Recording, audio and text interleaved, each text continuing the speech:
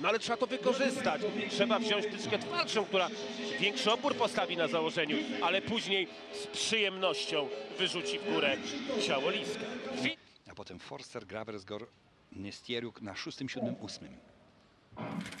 Wszystko poszło dobrze. Świetny start na siódmym korze Graversgor, ale teraz już tylko Pija Krzyszowska. Tylko ona, tylko ona tutaj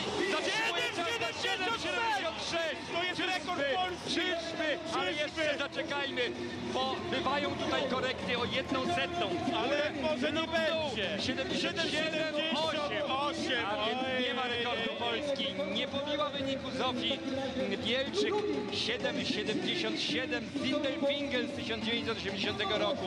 Pija Krzyżowska bije jednak rekord życiowy o kolejne 600 sekundy.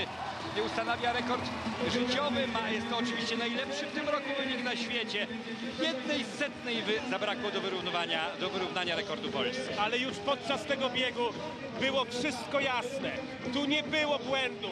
Zareagowała pięknie na komendę startera. I proszę popatrzeć, wysoko między płotkami, chociaż tam może na tym drugim rozstawie jakiś delikatny błąd się przytrafił, ale później widać tę szybkość Pii, tę moc między rozstawem. Jednak uderzony pierwszy płotek, to na pewno jest ta jedna setna, może nawet dwie.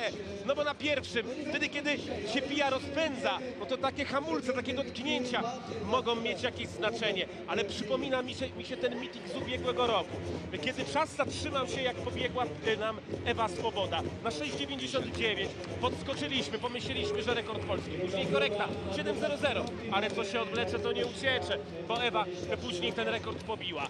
I tak samo będzie z Piją. Pija na konferencji prasowej w piątek powiedziała, że nie wycofuje się z tych słów, które powiedziała podczas meetingu w Düsseldorfie, że ona chce złamać granicę 7,80, że chce pobić w tym roku rekord Polski. Proszę Państwa, jednej setnej zaledwie brakuje. Kolejny fantastyczny rekord meetingu. Fantastyczny rekord meetingu, e, światowa klasa, jest jeszcze wiele do zrobienia.